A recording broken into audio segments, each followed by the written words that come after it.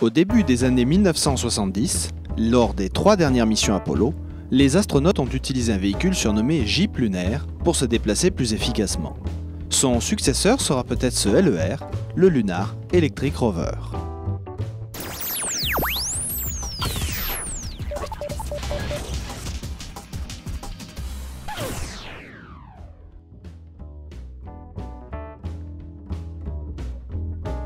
Le LER est une sorte de camping-car doté d'un habitacle pressurisé capable d'accueillir de 2 à 4 astronautes en bras de chemise. De larges surfaces vitrées facilitent le pilotage, mais aussi le repérage des zones à explorer. Jusqu'à deux scaphandres seront stockés à l'extérieur afin d'éviter qu'ils ne ramènent de la poussière lunaire dans l'habitacle. On se glissera dans ceci depuis l'intérieur du véhicule. De cette façon, un astronaute peut être prêt à fouler le sol de notre satellite naturel en seulement 10 minutes. Le LER dispose de couchettes, de sanitaires, de réserves d'eau et de nourriture. La NASA vise ainsi des missions de 14 jours et des parcours de 1000 km.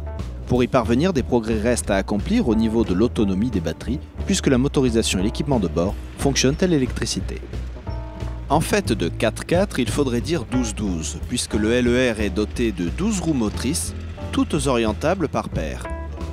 Le véhicule peut ainsi rouler en crabe ou tourner sur place si nécessaire.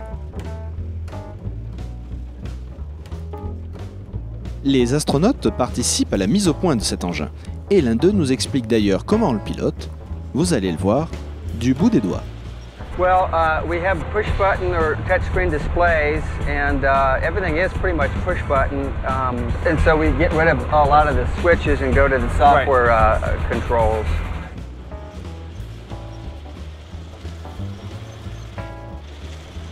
Le LER n'est certes pour l'instant qu'un prototype, mais il préfigure ce que pourra être l'exploration de la Lune à partir de 2020.